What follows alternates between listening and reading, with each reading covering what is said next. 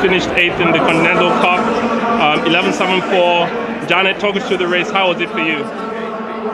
It went really, really bad for me. I wasn't expecting this position, but although it has happened, I give thanks to the God Almighty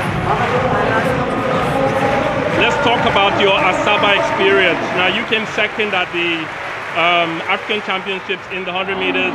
What was it like uh, medaling individually at the African Championships?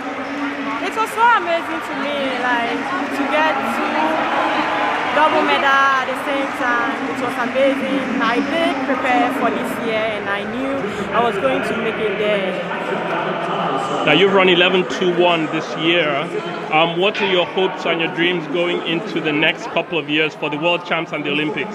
Well, for next year, my expectation is to run like drop my time there to like somewhere like 11 1, 11 12, or somewhere like 10 9 8.